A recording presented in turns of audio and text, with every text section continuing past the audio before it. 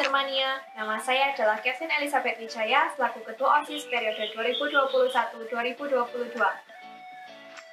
Tahukah kalian bahwa sekolah kita termasuk dalam salah satu nominasi Sekolah Adiwiyata tahun 2021? Pertama-tama, Adiwiyata itu apa sih?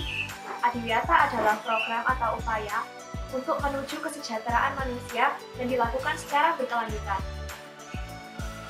Adiwiyata juga merupakan nama program pendidikan lingkungan hidup. Kalau sekolah Adiwiyata itu apa sih? Sekolah Adiwiyata adalah sekolah yang peduli lingkungan yang sehat, bersih, dan indah, dan diharapkan seluruh warga sekolahnya ikut berpartisipasi dalam mewujudkan ada tiga prinsip Adiwiyata, prinsip edukatif, partisipatif, dan berkelanjutan. Prinsip edukatif berarti memberikan informasi-informasi baru kepada warga sekolah, Prinsip partisipatif berarti diikuti oleh seluruh warga sekolah. Prinsip berkelanjutan berarti dilakukan secara terus-menerus. Kalau begitu, apa yang bisa kita lakukan sebagai siswa? Banyak yang bisa kita lakukan sebagai siswa.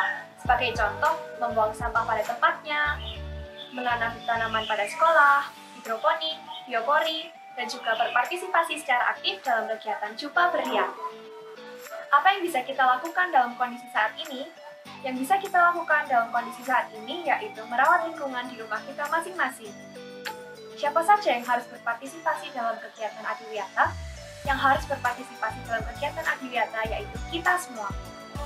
Saat dari melakukan Adiwiyata yaitu mengubah perilaku warga sekolah untuk melakukan budaya pelestarian lingkungan, menghemat energi dan sumber daya, serta mengurangi resiko dampak lingkungan yang dapat terjadi di wilayah sekolah.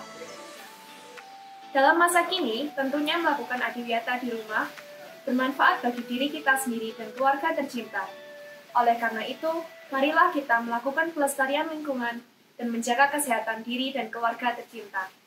Sekian dari saya, Spirit of Mary